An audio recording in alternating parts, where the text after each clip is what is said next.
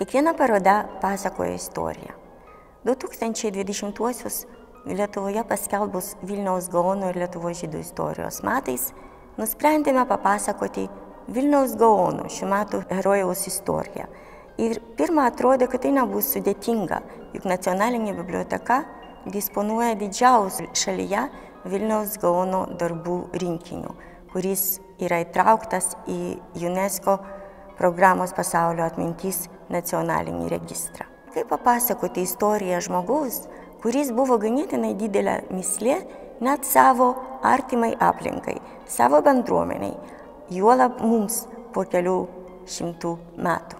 Pagalvojame, kad atskleisime šitoje parodoje ir savo užkeltus klausimus. Tai yra, parodysime, kas yra žinoma apie Vilniaus Gaoną, kaip jis yra prisiminamas ir kaip jis yra net įsivaizduojamas.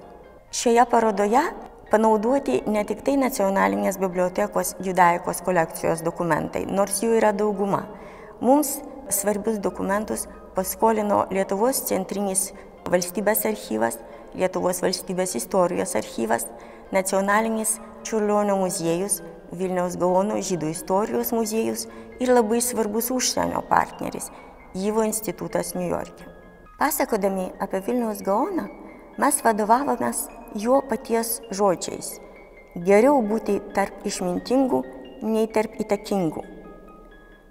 Dėl to šioje parodoje mes nepamatysime jokių dokumentų susijusių su jo tam tikrom regalijom arba pozicija žydų bendruomenėje arba jo uh, pozicija kaip tam tikros švietimo institucijos vadovo. Visą tai jis galėjo daryti, bet niekada nesutiko savo gyvenime tai daryti. Jis visą savo laiką skyrė toros studijoms ir gyveno labai uždarai. Dėl to ir mieste jis nebuvo gerai žinomas, bent jau už žydų bendruomenės ribų. Istorijos archyvo eksponatas 1765 m. senameščio gyventojo surašymas mini jį ir jo šeimą tarp visų kitų šių gatvių gyventojų, nekaip jo neišskirdamas ir nevartodamas jokio titulo. Kaipgi vis dėlto ir nuo kada atsirado ta šlovė, tas žinomumas, kuris ir vėliau ėjo per amžius. Vilniaus Gauno vardas, žinoma, pradėjo būti uh, garsus per jo darbus. Ir ypatingai svarbu pažymėti, kad šitie darbai irgi atsirado jam būdingų būdų, o būtent ne per jo gyvenimo laikotarpį. Jis nepaskelbė ne vieno savo darbo, jie visi atsirado jam jau mirus. Ir pirmas paskelbtas Gauno darbas davė pavadinimą šitai parodai.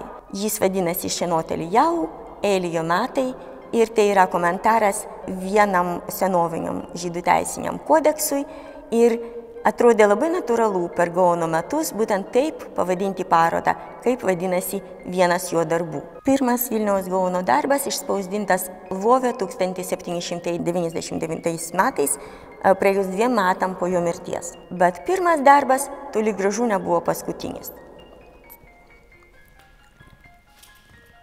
Vilniaus Gaono darbai buvo spausdinami nuolat Lietuvoje ir už jos ribų per visą XIX amžių ir net 20-ame amžiuje ir už Lietuvos ribų spausdinami. Čia mes matome ne tik tai Vilnius Gaono publikacijų istoriją, bet ir tą neįtikėtiną rabinistinės literatūros žanrų įvairovę, kuriai buvo sukurti jo rankraštiniai užrašai ir iš kurių paskui išspausdinti jo darbai. Žydų kultūros istorijoje dažniausiai yra įsigilinama į kažkokią tai vieną sritį, bent jau į porą sričių.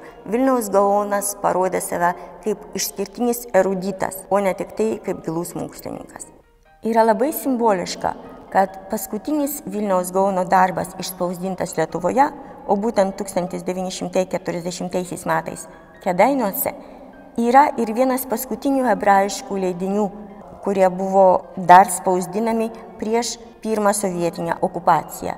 Su tos okupacijos pradžia hebrajiška kultūra iš vienos pusės ir žydų religinė kultūra iš kitos patyrė didžiulį nuosmukį ir praktiškai buvo uždraustos.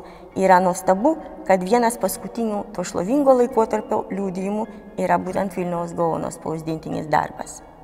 Parodoje negalėjome neparodyti ir vieno iš Vilnius Gaono darbų, galima sakyti, žygdarbių, dėl kurio jis buvo labai labai žinomas visame žydų pasaulyje, toli gražu ne tik tai Lietuvoje. Tai jo darbas su senomis klasikinio žydų teksto Talmudo versijomis, jų korekcijos ir komentarai Talmudui. Nuo tam tikro laiko, nuo pirmųjų Talmudo leidimų po Vilniaus Gaono mirties, visi Talmudo leidimai yra spausdinami su jo komentarais.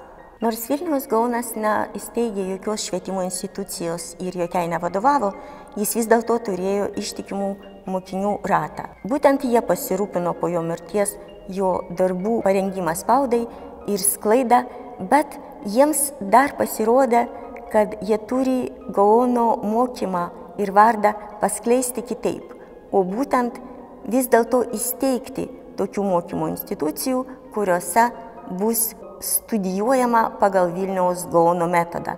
Tas metodas yra apibūdinamas labai trumpai.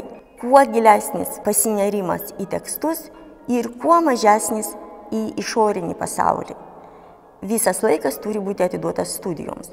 Pagal šį metodą iš tikrųjų Gaono mokiniai įsteigia naujo tipo ješivas, religinės akademijas. Pati tokia institucija žinoma žydų pasaulyje nuo senovės, tačiau lietuviškosios ješivos buvo tikrai naujo tipo. Pirma jų įsteigta 1802 metais. Valažinė, dabar Baltarusija tai yra, o per visą XIX amžių ir 20, iki pat holokausto šitos ješivos suklestėjo per visą Lietuvą. Parodoje norėjom parodyti ir lietuviškų ješivų pasaulį, dokumentus ir spaudinius susijusius su juom, nes visose tose ješivose Vilniaus Gauno pavaldas buvo laikomas šventu. Nuo XIX amžiaus vidurio pradeda formuotis legendomis apipintas Vilniaus Gauno įvaizdis, kuris tampa neatsiejama Vilniaus ir Lietuvos žydų savimonės dalimi. Šitas įvaizdis ir prisiminimas apie Vilniaus Gaoną įeina net į populiarią kultūrą, į poeziją, į publicistiką, tų tekstų menininkų kūriamus portretus. Žinoma, tai buvo menininkai, kurie niekada nematė Vilniaus Gaono tikro vaizdo. Šitas vaizdas įeina net į populiarią 20-ojo amžiaus žydų poetų rašo taip savo poemoje skirtoje Vilniui. Vilniaus Gaono veidas žiūri nuo sienos kiekviename žydų name. Populiarus plakatas, kuris čia e, parodoje irgi yra demonstruojamas, įrodo šito pasakymo e, tiesą, nes iš dešinės pusės, tokiame tipiškame žydų name, kuris čia pavaizduotas, mes ir matom Vilniaus Gauno paveikslą. Žinoma, labai svarbi Vilniaus Gauno atminimo vieta, e, kuri irgi buvo praktiškai legendinė Vilniuje Tai buvo jo kapas e, senose žydų kapinėse Šnipiškėse.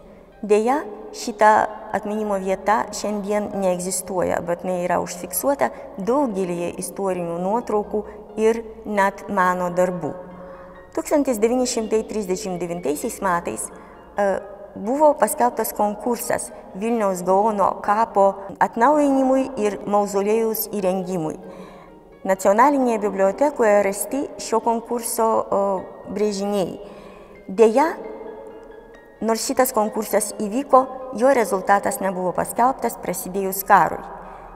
Mes tik tai galim konstatuoti, kad net ir ketvirtojo dešimtmečio pabaigos architektai ir menininkai buvo žmonės, kuriems Vilniaus Gaono atminimas buvo labai svarbus.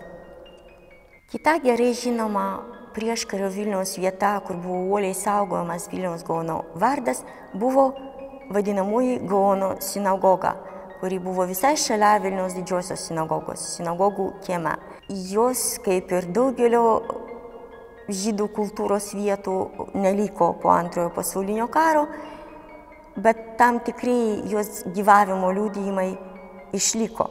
Vienas jų yra šios sinagogos vadinamasis pinkas arba metraštis, kuris 1940 metais, kai vėlgi prasidėjus tai pirmai sovietų okupacijai ir pradėjus uždarinėti sinagogas ir plėšikauti sinagogose, kažkas, žinomas net asmuo, išgelbėjo šitą metraštį ir jį padovanojo Vilniuje dar veikusiam Žydų studijų institutui Jyvo. Ir tokiu būdu šitas metraštis tapo Jyvo kolekcijų dalimi. Tai šiek tiek vėliau atėjus naciams, dalis instituto kolekcijų buvo sunaikintos, dalis išvežtos, o šitas unikalus eksponatas buvo išgelbėtas Vilniaus gete žymaus Vilniečio jidiš poeto Avromo Sutskeverio. Ne tik tai jis išgelbėjo šitą eksponatą tam tikroje slėptuvėje, ne tik tai šitą slėptuvę išgyveno karą ir ne tik tai jis rado jį po karo, bet Sutskeveriai palikus sovietinį Vilnių, kuriame jis nematė jokių perspektyvų žydų kultūros vystimui ir net egzistavimui, jis sugebėjo su savim šitą eksponatą pasiimti, išvežti ir vėl perduoti Yvo institutui, kuris tuo metu tęsė savo veiklą New York'e ir tęsė šią veiklą iki šiol. Būtent Yvo institutas, kuris yra ilgametis nacionalinės bibliotekos intelektualinis ir projektų partneris, suteikia mums šio unikalaus eksponato vaizdus. Vilniaus Gauno sinagogo priešlapyje lakoniškai Avromo Sutskiverio ranka surašyta šito objekto išsaugojimo istorija. Vilniaus Gaono atminimas, jo vardas liko šventas net ir tragiškais nacijų okupacijos metais.